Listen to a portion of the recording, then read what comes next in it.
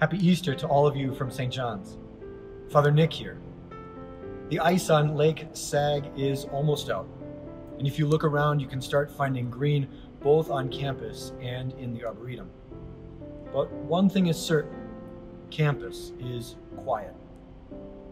As a place that prides itself on the Benedictine value of community, this Easter reminds me much more of the empty tomb rather than large crowds gathering to sing Alleluias. And yet there is abundant hope. When I consider the ways in which Johnnies and Bennies have continued to reach out to each other, zooming and snapping, staying committed to academic success, there is much in which to find joy.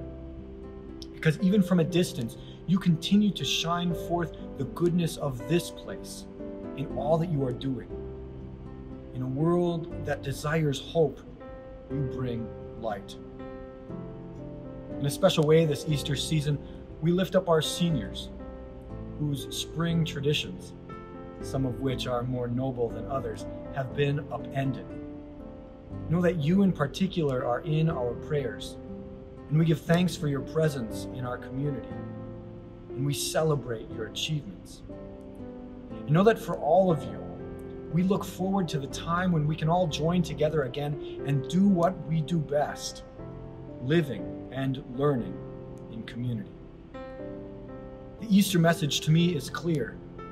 When those early disciples saw that the tomb was empty, they left with great hope and filled with the belief that Jesus had risen.